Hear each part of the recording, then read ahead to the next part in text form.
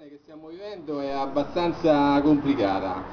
Noi ci troviamo in un territorio, come tutti sapete, con grosse difficoltà occupazionali, crediamo che anche il servizio pubblico debba in qualche modo contribuire a mantenere nella città un livello occupazionale importante. La fabbrica d'armi a tutti gli effetti ormai ha una storia centenaria in questo territorio, occupa attualmente oltre 350 persone e vogliamo che questa possibilità rimanga anche nel futuro. Il fatto che lo Stato Maggiore della Difesa ci sta imponendo un taglio di circa 100 unità sulla pianta organica è una cosa che va contro queste determinazioni e contro questa nostra idea di sviluppo e di occupazione della città.